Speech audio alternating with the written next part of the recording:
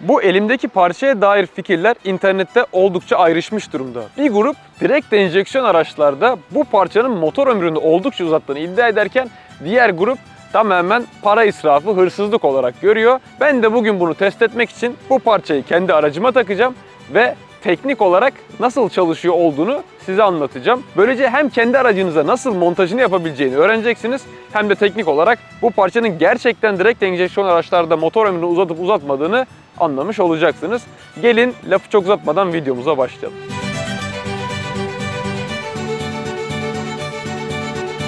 Şu an içinde oturduğum Ford Mustang direkt enjeksiyonlu bir araç. Direkt enjeksiyon aslında dizellerle başlayıp sonra benzinlere de sıçramış bir teknoloji ve günümüzde artık çok fakir spek olmayan araçların çoğunda direkt enjeksiyon bulunuyor. Neredeyse bütün araçlar bu motorlarla satılıyor. Bunun da oldukça geçerli bir sebebi var. Direkt enjeksiyon aslında daha verimli, daha güçlü ve daha modern bir teknoloji olduğu için günümüzde bütün araçlarda artık kullanılıyor diyebiliriz. Ama tabii ki dezavantajları da var. İşte bu gördüğünüz parça bu dezavantajların bazılarını ortadan kaldırmak için yapılıyor diye iddia ediliyor. Ama bu küçük parçanın bütün bu dezavantajları aşıp aşmadığını anlamak için ilk olarak nasıl çalıştığını anlamamız lazım. Motorunuz çalışırken tahmin edersiniz ki yanma yüzünden silindirin içinde ciddi miktarda basınç oluşuyor ve bu basınç sayesinde pistonunuz aşağı doğru inerek hareket enerjisine çevriliyor. Aracınızın ilerlemesini sağlayan aslında bu basınç. İdeal koşullarda segmanlar ve pistonlar tabii ki silindirle aradan hava geçirmemesi gerekiyor. Ama yaşadığımız dünya ideal bir dünya değil.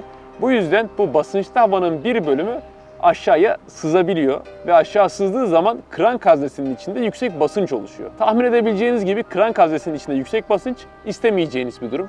Bu yüzden bütün araçlarda bu haznenin içindeki fazla basınçlı havayı dışarıya atmak için bulunan bir valv var. Basınçlı havanız krank haznesine dolduğu anda biraz kendisi yakıtla da karışık olduğu için ve içerisi yağlı olduğu için yağlı ve yakıtlı bir basınçlı havaya dönüşüyor. Oldukça kirli. İçeride bulunan bu valv de bu basınçlı ve kirli havayı dışarı atarak krank haznesini rahatlatıyor. O eski vahşi batı zamanlarında bir önceki jenerasyon yarınlar yokmuşçasına yaşarken bu basınçlı hava yağlı bir şekilde direkt dışarıya yere atılıyormuş. Ama günümüzde tahmin edersiniz ki bunu yapmamız mümkün değil.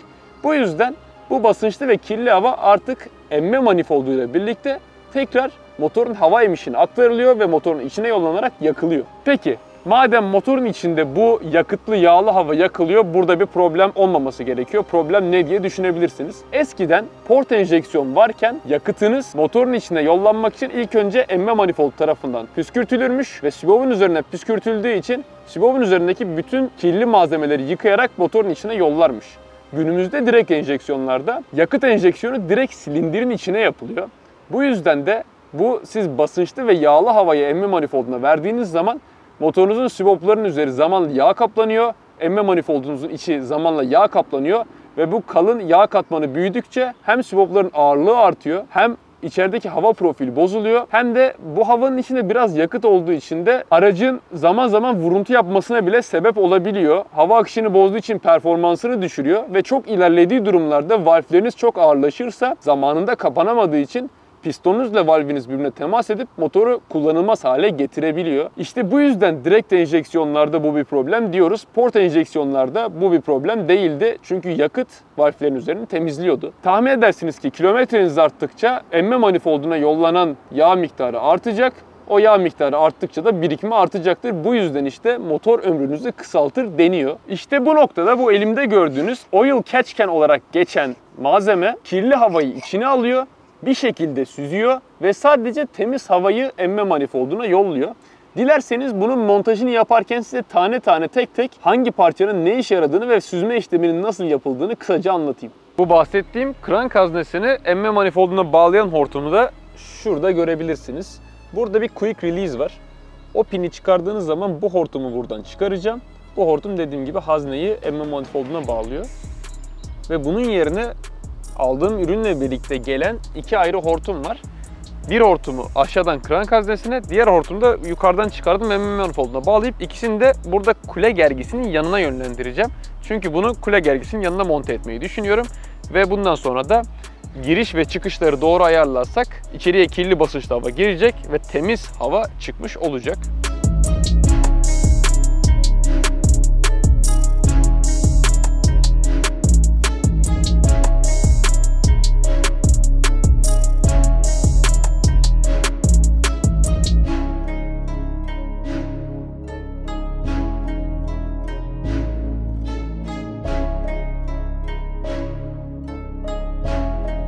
Genelde bu tür parçalar için üreticiler eğer aracınıza uygunsa zaten nereye bağlayacağınızı söylüyor.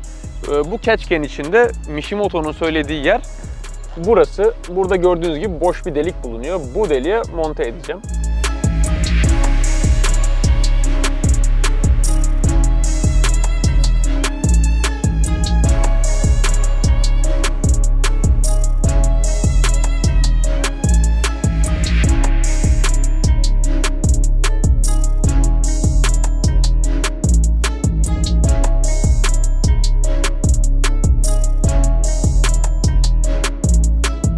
O yüzden aslında e, kolay görünen bir montajı var. Tabii ki aracı kaldırmanız gerekiyor çünkü hazneye erişmek için aşağıdan erişmeniz gerekiyor aracı. Montajı yaptık. Kranktan gelen tarafı girişe ve emme manifolduna giren tarafı da çıkışa bağlayacağımızı söyledim. Peki bu tam olarak nasıl çalışıyor? Burada gördüğünüz gibi hava girişinden girdiğinde karşısında bir duvar var. Ona çarpıp hava aşağı doğru yönlendiriliyor ve aşağı doğru süzülüyor. Bu gördüğünüz saklama kabı gibi görünen şeyin içine doluyor. Dahası sıvı buradan süzülerek aşağı indiği için hava basınçlı olarak içinde kalmış oluyor ve yandaki çıkıştan şu gördüğünüz filtrenin içinden geçerek çıkış tarafına gelip emme manifolduna yönlendiriliyor.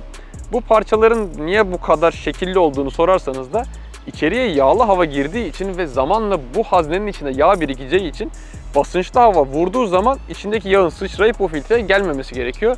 Bu gördüğünüz delikli parçada bu sıçramayı engellemek için kullanılıyor. Aşağıda gördüğünüz altın rengi parça ise havayı filtrelemek için kullanılıyor. Bu filtreleri ve bu parçayı bilinen iyi markalardan almak oldukça önemli. Çünkü kötü bir üretim olursa sizin hava sisteminizde aşağıdaki krank yuvasında basınç oluşumuna sebep olabilir. Bu havanın rahatça akması gerekiyor bunun içinde. Bu yüzden bu filtrenin kaliteli olması oldukça önemli. İşte internetteki tartışmalara böylece teorik olarak bir sonuç vermiş olduk. Gördüğünüz gibi teorik olarak faydalı bir parça.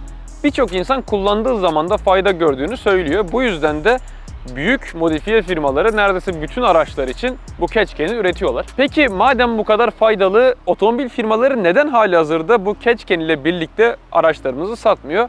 Bunun açıklaması da basit. Çoğu araç için zaten 200 bin kilometre firmaların gözünde aracın ömrünü doldurduğu zamandır.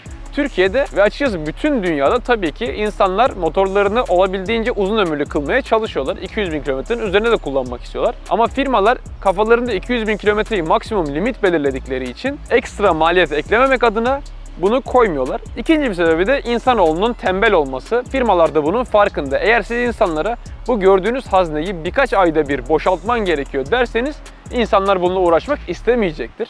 Ve bu hazneyi boşaltmadığınız zaman bu parçayı takarak kazandığınız kazançtan daha büyük bir zarar elde etmiş oluyorsunuz. O yüzden genelde arabasına düşkün, arabasına iyi bakan insanların kullanacağı bir parça olduğu için aftermarket olarak sonradan takılıyor. Araçların üzerinde bu parça bulunmuyor. Ben de tabii ki yeni taktığım için ne kadar kirli yağ, yakıt, su karışımı biriktirdiğini size direkt olarak gösteremeyeceğim. Ama bizi Instagram hesabımızdan takip ederseniz 1000 kilometre, 2500 kilometre ve 5000 kilometre sonrasında içinde ne kadar yağ ve yakıt biriktiğini size sosyal medya hesaplarımızdan paylaşarak göstereceğim. Bu yüzden bizi Instagram'dan, YouTube Shorts'dan ve TikTok'tan takip edebilirsiniz. Bu hesapların hepsinden paylaşmayı planlıyorum. Bu videoluk anlatacağım her şey bu kadardı arkadaşlar. Kendinize iyi bakın. Hepiniz hoşçakalın.